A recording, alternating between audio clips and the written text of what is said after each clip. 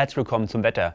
Gestern bis heute hinein gab es vor allen Dingen in Bayern Richtung Allgäu nochmal kräftige Regenfälle. Hier fielen stellenweise in der Region rund um Günzburg 50 bis 80 Liter Regen pro Quadratmeter. Das hatte natürlich zur Folge, dass die kleinen Bäche und vor allen Dingen auch Flüsse wieder angestiegen sind und stellenweise gab es dort schon wieder Hochwasser. Auch heute wird der Regen noch etwas weitergehen. Vor allen Dingen hier südlicher Donau kann es immer wieder noch einzelne Schauer, teilweise auch Gewitter geben. Aber auch Richtung Franken sind einzelne Schauer möglich. Sonst insgesamt ein recht freundlicher Tag. Mal scheint die Sonne, mal ziehen einzelne dichte Wolkenfelder vorüber. Es bleibt aber weitgehend trocken. Und die Höchstwerte erreichen 18 Grad an der Nordsee und bis zu 24 Grad am Mittelrhein bzw. in Brandenburg.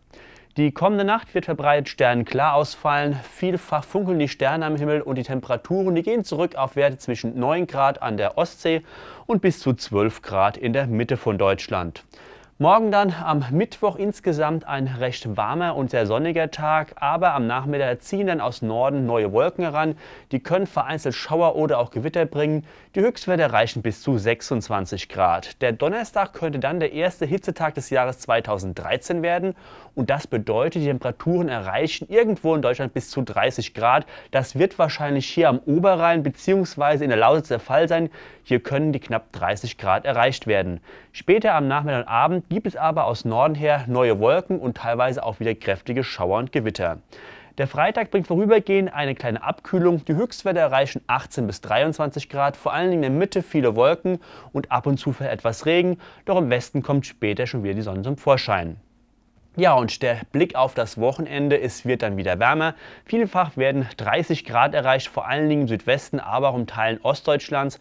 Und das bedeutet, gerade in den Hochwasserregionen kann das Ganze etwas unangenehm werden, denn hier steht vielfach das Wasser noch auf den Feldern, teilweise noch in den Straßen und in den Häusern.